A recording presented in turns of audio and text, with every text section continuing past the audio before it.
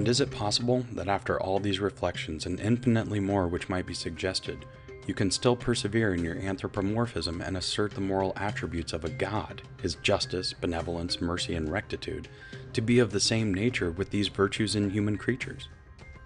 His power we allow infinite. Whatever he wills is executed, but neither man nor any other animal is happy. Therefore, God does not will their happiness.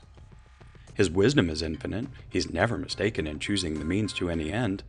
But the course of nature tends not to human or animal felicity. Therefore, it is not established for that purpose.